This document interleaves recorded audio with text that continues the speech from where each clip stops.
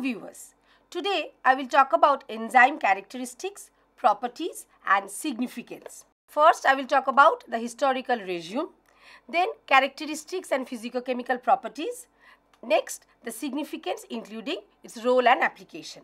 As we know that the living processes has severe biochemical reaction which always are not spontaneous. These biochemical reactions are for metabolism. Now enzyme actually speeds up all those biochemical reactions by lowering down its higher activation energy. And the enzymology is the study for the enzyme structure, function as well as inhibition. First the enzyme was named as ferments then Kuhnke actually named it as enzyme. Historical regime. Theodor Schwann first found the pepsin in gastric juice. Next, in 1837, J.J. Berzelius was found the catalytic function of diastase. Next, in 1857, Louis Pasteur have found the catalytic action of the unorganized ferment like emulsin and organized ferment like living yeast cell. Then, by William Kuhnke, it was named the unorganized ferment showing catalytic activity as enzyme. Next, Buchner in 1897 has found the zymase has alcoholic fermentation action by the catalysis and J. Sumner in 1926 first characterized and purified by isolation of first enzyme urease. Next, invention. So, all of these was the were the inventors. Now, invention trypsin was first invented from beef pancreas by Northrop and Kunitz in 1936. Then catalase was isolated from beef liver, isolated by Sumner and Downs in 1937. RNase was isolated from beef pancreas by Kunitz in 1940. Pepsin was isolated from swine stomach by Northrop in 1946 and DNase was isolated from beef pancreas by Kunitz in 1950. Let's talk about the general characteristics of the enzymes. Enzymes are protein in nature, maybe the simple protein like urease or complex protein like catalase having extra cofactor apart from which it may be the single polypeptide chain like DNA polymerase 1 in E. coli or may be made by the different number of polypeptide chains oligomeric protein like pyruvate kinase. Homodimeric protein is found in case of citric synth citrate synthase as well as the oligomeric different heteromultimeric protein is ATP synthase in mitochondria. So, actually the protein part is apoenzyme along with which the prosthetic part tightly bound coenzyme and cofactor makes the total holoenzyme which is actually active. Evidences proof the protein nature of enzyme includes the composition with carbon, nitrogen, oxygen, sulfur and phosphorus, amphoteric nature denatured by the solvent as well as precipitated out and they can raise antibodies apart from which the peptide bond it contains. Next one, the comparison with inorganic catalyst. So, there are some similarities as well as differences with the inorganic catalyst. First, the similarities. So, all those things, both enzymes as well as inorganic catalyst can accelerate the reaction but cannot initiate. Temporarily they bind with the substrate but no qualitative or quantitative change of the product as well as itself. So, they can be used by again and again apart from which they lower down the higher activation energy as well and they can actually accelerate the reversible reaction. In case of differences, the enzymes are large molecule of a protein structure, but the inorganic catalyst is small molecule. And they have large molecular weight enzymes. They catalyze specific biochemical reactions but inorganic catalysts they, they can wide they have a wide range of specificity as well as we can find that these enzymes can be regulated by gene expression can be activated or inactivated by temperature ph etc as well as they can be affected by coenzyme cofactor which are not applicable for inorganic catalysts. So these all are the differences difference from vitamin. So, vitamins act as larger organic molecule as coenzyme which is getting attached to the enzyme and vitamins are not yet synthesized with the animal system like enzyme. Exo and endo enzymes. Endo or intracellular enzyme is synthesized and act within the cell like plant enzymes. But exoenzymes are liberated outside for nutrition and digestion in fungi and animal. Physicochemical properties of enzymes, colloidal nature, chemical nature, catalytic nature of the effectiveness, specificity of the enzyme action, thermolability, pH sensitivity as well as reversibility of the reaction colloidal nature. They are very giant sized molecule and they are folded up and their molecular weight is multiple of N 175000. They cannot be dialyzed and their components are dissociable as well as they have high diffusion rate. We can follow from the table the molecular weight of pepsin, catalase as well as urease. Next one, chemical nature. As I have already told you that this is made by the peptide bond, okay? And these peptide bond made by the amino acids. So, we can find the apoenzyme protein part along with which coenzyme is getting attached to give the holoenzyme. These co coenzyme actually bind to the active site where it actually participate in case of catalysis. And they carry the intermediates like electron in case of dehydrogenase oxidation reduction reaction NAD plus NADH they can actually transfer the electrons. Catalytic nature of the effectiveness. So virtual absence of any side product. They are actually catalyze the in vivo reaction. No qualitative or quantitative change. They have enormous high catalytic power which is measured by the turnover number and very small amount of enzyme is capable to transform the substrate specificity of the enzyme reaction. Enzymes are very specific, compatible with respect to the structure, shape, hydrophobicity, ionic interaction with the substrate. Some enzymes have very accuracy, specificity with respect to the reaction like DNA polymerase which has proofreading activity. By first reaction, it is catalyzing the polymerization. Then the second reaction checks whether the first reaction was correct or not. Some enzyme has broader specificity range. In some cases, some side action can be evolved during selection as the normal against something and new function. So, that is called enzyme activity promiscuity. Enzyme have stereoselectivity, geometrical specificity, chemoselectivity, etc. Absolute specificity means enzyme sometimes reacts on specific substrate like urease acts on urea which give rise to ammonia and water only. Types of specificity. It may be reaction specificity or substrate specificity. Reaction specificity.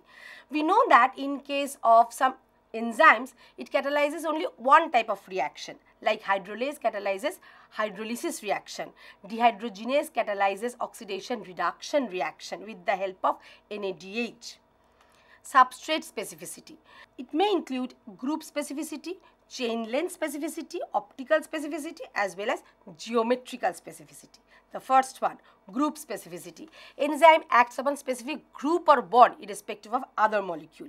Like thrombin can be acted upon fibrinogen peptide made amino group by glycine and carboxyl group is made by the arginine only. Chain length specificity. Fatty acyl CoA dehydrogenase that is very much specific about the fatty acyl long or moderate chain optical DL stereo specificity. So, D amino acid oxidase is only applicable, only can be acted upon the D amino acid. Geometric cis trans specificity. This is another kind of stereo specificity as we know that over the geometrical isomer. The It can be acted over the double bond syn carbon chain. Cis aconitase can be acted upon cis aconitic acid only. Next one, alteration of the enzyme specificity. So, these stringent specificity of the substrate can be altered.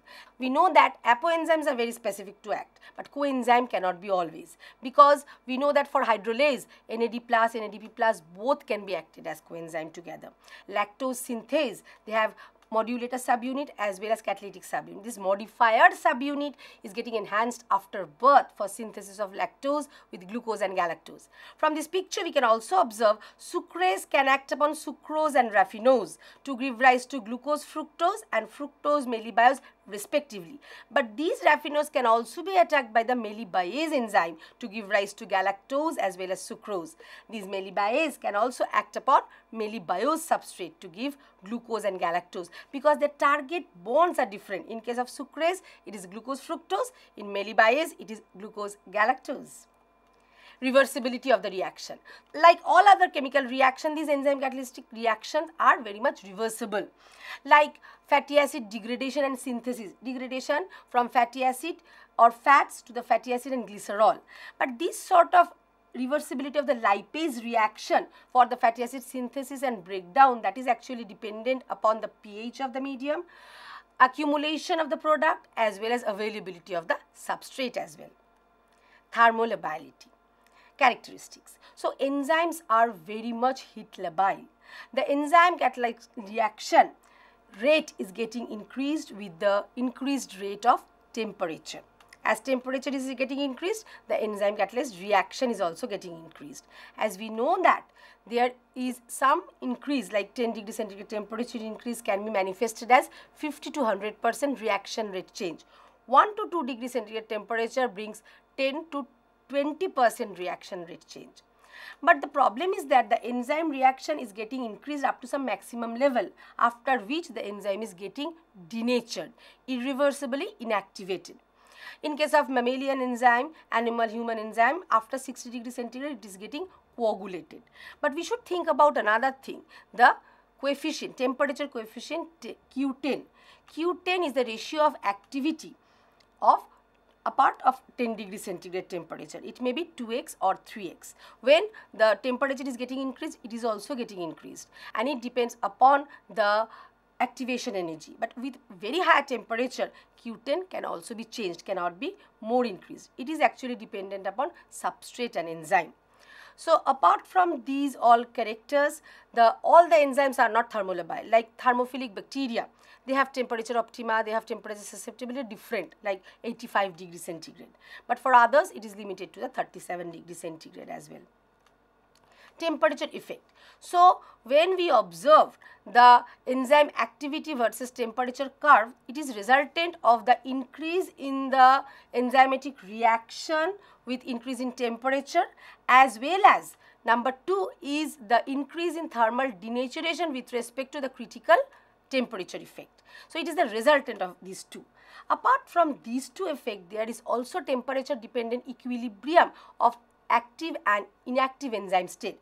That was actually experimentally proved and a model was proposed by Daniel and Danson who actually observed E act have reversible with K equilibrium with E inact which ultimately with K inact rate give rise to X. X is irreversibly inactivated condition which gives actually the thermal flexibility stability of the enzyme. So, this is all about the response to the thermal change to the enzymes and we know that experimentally the presence of inactivated enzyme was observed by the data. Temperature optima. So, when we can follow these enzyme activity with respect to increased temperature it is a bell shaped curve okay? And it is a range. Within 35 to 40 usually 37 degree is the temperature optima for usual enzyme. As we know that RNase with huge temperature first denatured then rapid cooling it will be renatured. But in some cases for spore and seed it is 100 to 120 degree centigrade temperature pH optima. pH dependence. So enzymes are actually active in a favorable pH region or range. So, the activity is the function of pH and pH is the function of stability. Stability of the enzyme is function of pH. So, in very low and high pH enzyme is getting inactivated. Now, when we are talking about pH optima, it is based upon the acid-base nature of the active site amino acid and the ionic interaction in between enzyme and substrate and it varies inside the mm, cellular concentration, cellular level and pH optima lies within 4 to 8 but for pepsin it is 2. Let's talk about the pH effect. As pH is getting changed, there are so many consequences. What are they?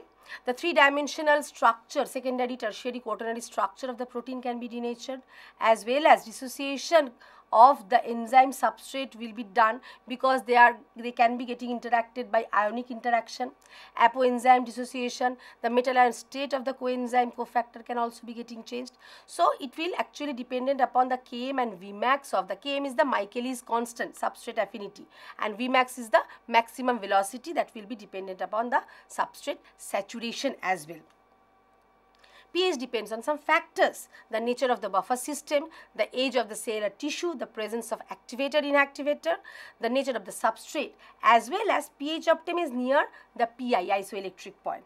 But For trypsin, the pI is 10, though the pH optimum is 7 to 9. The funny thing is that the pH optimal range of trypsin is 2.5 to 11. Below 2.5, the active site amino acid COO minus will be getting changed to COOH. So, no more activity. And beyond 11, the epsilon NH3 plus of lysine will be getting changed to NH2. Again, that will be inactivated. So, enzyme act in the range and in case of temperature optima it is somehow some higher than that of the internal temperature. pH optima of some enzyme in case of pepsin that is very much acidic that is 1.5. Then number 2 is invertase that is not highly acidic that is acidic that will be 4.8. 7.8 or 7.5 will be for fumarase and very highly alkaline uh, arginase that will be 10 and fumarase is uh, more or less alkaline. Some exceptions. We can follow that in case of pepsin which is confined within stomach the pH optimized 2. In case of papain synthesized within the papaya that will be insensitive to the pH change and below 7 actually we can follow that cannot be changed within the pH range 4 to 8 or 6 to 8. But in case of cholinesterase it is insensitive to pH within 7 to 10. Below 7, the pH is getting changed, the, it is sensitive, the reaction is very much pH sensitive. Because we can find at the active site the presence of ionizable group maybe due to the pH 6 for the histidine is present significance of the enzyme including role, importance and application. Role, we know that enzyme has enormous biological role because it has the power for the uh, ATP generation, energy generation as well as signal transduction by kinase and phosphatase. Hexokinase can regulate glycolysis as well as cellulase is needed for the ruminant digestion as well. Let's see what are the roles and importance. First importance include the industrial importance and application, biological importance and function, medical importance by involvement in the disease. The first one, industrial importance. For wine manufacturing, papain is needed, cheese making, renin, candy making, invertase, clarifying fruit juice, pectinase, tenderizing meat, as we all know, papain is needed for cooking meat. Bread whitening, lipooxygenase is needed. Desizing fabrics, amylase is needed. Dehairing hide, trypsin is needed. Destain fabrics, alkalase is needed. Recovering silver, pepsin. Correcting digestion, amylase is needed. Wound healing, trypsin needed. Analyzing biochemical, urokinase, urease, uricase is needed. Dissolving blood clot for heart patients, urokinase is needed. Changing blood type, glycosidase protease is needed. Diagnosis hypertension, renin-angiotensin system is responsible. Augmenting surgery, trypsin is needed. Breaking down chemical for neurodegeneration, monoamine oxidase, MAO is needed. Destroying acids for plant metabolism, phytase is needed for phytic acid destruction. For rubber industry, catalase is very much needed biological importance. Kinase and phosphatases, they act simultaneously in case of signaling pathway to switch on or switch off particular type of cascade of reaction. For muscle contraction, ATPase is needed. For active transport, sodium, potassium, ATPase is very much needed. For the generation of light in flies, luciferase is needed. For viral infection, HIV integrase is needed and viral release, neuraminidase is important for influenza virus. Digestive system actually exploit amylase protease for our digestion, control metabolism by phosphofructokinase as well as hexokinase. So, they can regulate the metabolism within the system. But unfortunately, medical importance is related to the involvement of disease by malfunctioning or mutation of some enzyme like PKU, phenylketonuria, where phenylalanine hydroxylase enzyme which is needed for the phenylalanine degradation is actually mutated giving rise to mental retardation. As we know that germline mutation of UV repair enzyme give rise to the mutation for responsible of skin cancer and xeroderma pigmentosum hereditary diseases application. We can follow the enzyme application in case of industrial, medical or clinical, analytical as well as manipulative and research purpose. Industrial application. Alpha amylase which breaks down starch. The source is bacteria which converts starch to glucose is needed for the food industry. Glucose isomerase converts glucose to fructose isolated from fungi is very much needed to make the high fructose syrup. Protease digests protein that is isolated from bacteria needed in the washing powder. Small granules or globules can be found. Renin clots milk protein that is found from the animal stomach. It is needed for the cheese making. Catalase converts H2O2 to H2O and O2 that is isolated from animal liver that is also needed in the rubber in industry to convert latex to the foam. Beta-galactosidase hydrolyze lactose isolated from fungi and very much needed in the dairy industry. Medical application. L-asparaginase is very important enzyme which actually remove asparagine from tumor cells. So that is actually isolated from bacteria as E. coli as source and application it is needed for the chemotherapeutic agent. Urokinase that breaks down the blood clots that is isolated from human urine it is needed for the heart patients. Clinical application number one therapeutics. Streptokinase is needed for the therapy of myocardial infarction. Clinical analysis cholesterol oxidase is needed to analyze blood serum cholesterol. Disease diagnosis, it is actually done with marker specific isozyme of lactate dehydrogenase M4 which is not normally found in blood serum but found in case of myocardial infarction.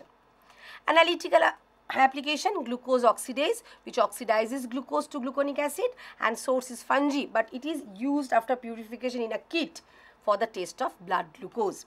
Luciferase which is actually found from the fireflies and produces light that can be used to find any minute amount of bacterial contamination within the food.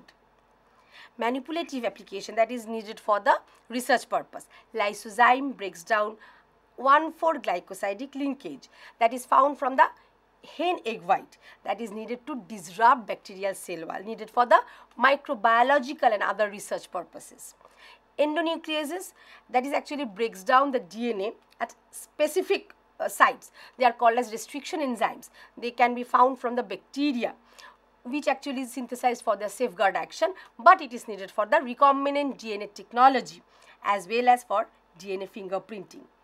Multi-enzyme system. Sometimes some enzymes are getting aggregated in the mosaic fashion. So, the reactions are getting coupled together. So, the product of first enzyme can be acted as substrate for the next enzyme like pyruvate dehydrogenase system. So, it consists three enzymes together. What are they? Pyruvate decarboxylase, dihydrolipoic dehydrogenase and lipoyl reductase transacetylase. Subunit association. So, we know that enzyme are apoenzyme protein part but along with which some metal ion cofactor can interact for the sake of the reaction like magnesium 2 plus is needed metal ion for hexokinase as well.